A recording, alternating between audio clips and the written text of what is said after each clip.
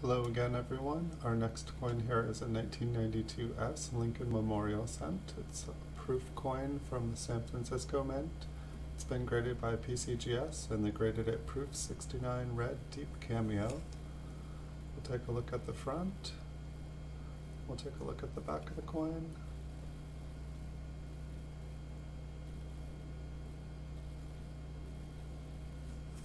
Let's check out the memorial.